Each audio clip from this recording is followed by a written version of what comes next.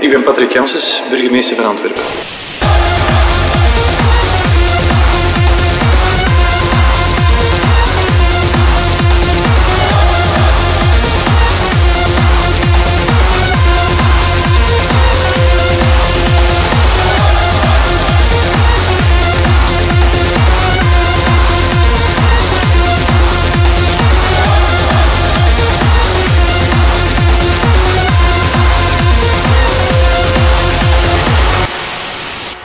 Wel, de hele idee om uh, verrassende dingen te doen op het openbaar domein vind ik altijd positief.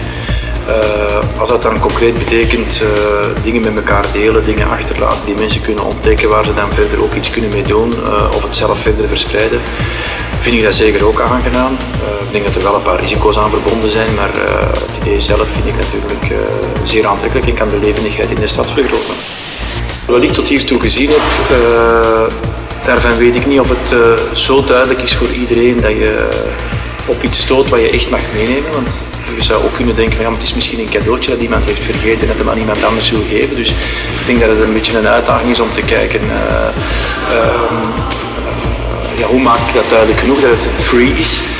Daarnaast maak ik me eigenlijk wel zorgen rond het feit dat het een techniek is die heel makkelijk zou kunnen gebruikt worden door commerciële bedrijven om te samplen. En dan, dan in een stad als Antwerpen met heel veel toeristen, met heel veel bezoekers, veel volk op de straat, is het natuurlijk heel uh, interessant voor, ik zeg maar wat, uh, iemand die een frisdrank uh, lanceert om die gratis overal te gaan uitdelen. Dat zijn dingen die we onder controle proberen te houden, die ook niet zomaar vrij eenderbaar mag doen.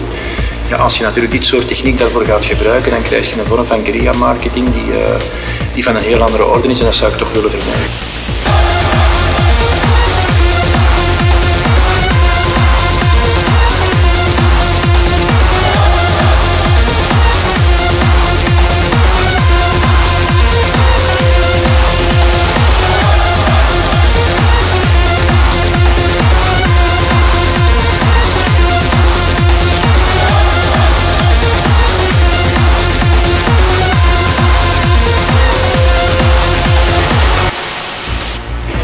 Er een beetje vanaf. Als het, als het duidelijk is dat het, dat het bedoeld is om mee te nemen en, en daar dan nadien iets mee te doen, zou ik dat zeker doen als het iets is wat me aanspreekt. Ik zeg maar een boek waarvan je denkt, ja, interessant, wil ik wel eens in bekijken, wil ik wel eens in bladeren, wil ik wel eens lezen, uh, dan zou ik dat zeker doen.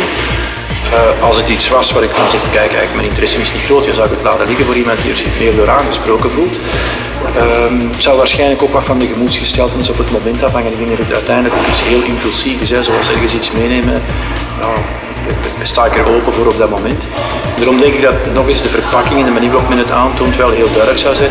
Maar ik zou denk ik in sommige gevallen wel enige gêne hebben om te denken van ja, maar hier heeft iemand aan gewerkt omdat straks aan een vriend of een vriendin of het is een poets die ze iemand willen bakken of zo. Ik ga dat verknoeien als ik het meeneem. Dus er zou ook wel enige gêne zijn.